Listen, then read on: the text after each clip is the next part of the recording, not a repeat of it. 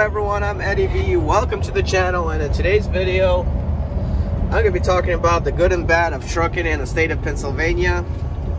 If you're new to the channel, go ahead and go ahead and hit that subscribe button, subscribe to the channel and hit that notification bell that way you don't miss anything. Guys, Pennsylvania does not have a whole lot of good. Actually, matter of fact, they have a whole lot of bad to talk about. Let's just start with the good first. First, uh, first off, if you're in the mountain range of Pennsylvania, it is beautiful. Same for in the farmlands or in the country roads that you're going. It's beautiful there.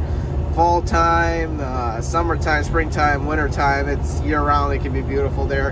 And it is home to the second state with the largest uh, population of uh, Amish people. First state is actually Ohio, and Pennsylvania second.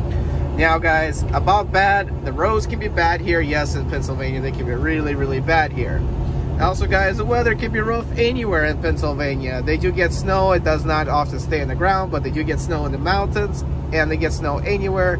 Uh, and yes, that can cause accidents and pileups. That does happen here, especially on I-81 in the mountains and I-80. Also guys, Pennsylvania, uh, it does have rough weather even in the summertime. I was in, the, in around the rolling hills and they had a tornado. I didn't realize it until somebody at the truck stop told me what I actually ran through. That's why it was really, really windy.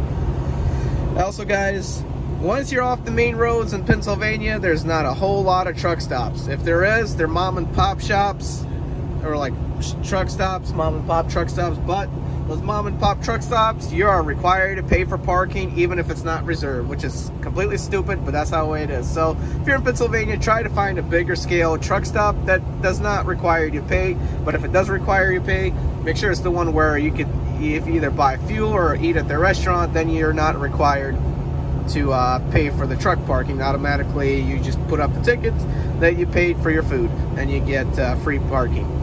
Also, guys, what I don't like about Pennsylvania is their dumb speed limits. The 70 mile an hour speed limits are only on I-80 and turnpikes and certain parts probably on I-81, but I don't remember much. Most of their speed limits are dumb 65, so I run around 66 to 68 miles an hour just to get somewhere where I need to get because it's awfully slow. And once you start approaching a big city, what's very dumb about the state is that the speed limit of the state is 55 miles an hour when you get close to the city absolutely dumb. You're not even the city. You can be 10 miles away from a main city. They throw it down to 55 miles an hour, which I think is dumb and is just called entrapment. Also, guys, when it comes to DOT Blitz Weeks, the DOT officers here are horrible.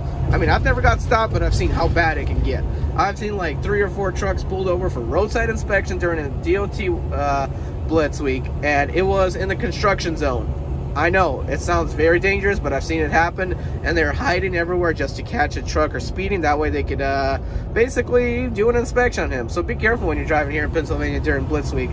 The only good part about it is there's weigh stations are usually always closed because they don't actually have a actual scale on the weigh station. So they have a little play on their portable scale how much you can go overweight because they're never accurate. That's the thing about uh, Pennsylvania, and they also do not have pre-pass. So basically, guys, maybe one or two has pre-passes. I don't know. I haven't been everywhere in Pennsylvania, but everything is once they set up the scale house to be open, they're pulling every truck in, and the only bypass you get is a hand, gest a hand gesture saying you can move on and not stop to wait. So that's how it is in the state of Pennsylvania, guys. Um, and also to add that, their fuel is expensive here. I stopped at, uh, it, this was uh, two years ago, or no, about a year ago. It was like 2020. I stopped for fuel, not at a main truck stop, like a big brand name, but I stopped like at a local, uh, locally owned truck stop, and it was like 50 cents more for diesel than at a regular truck stop, like Love's. So this is very confusing about here in Pennsylvania, but that's just how it is. All right, guys. Um, you're driving to Pennsylvania, just I hope you found this stumble on this video and took my advice on how to drive through it. You know, so be careful when you drive through it, especially during harsh conditions at DOT Blitz Week. And be careful in general to watch the speed limits because they could catch you for speeding. Alright guys, thank you for watching this video. I'm Eddie V. Not canceled. Guys, I'm Eddie V. 2004 6 Turn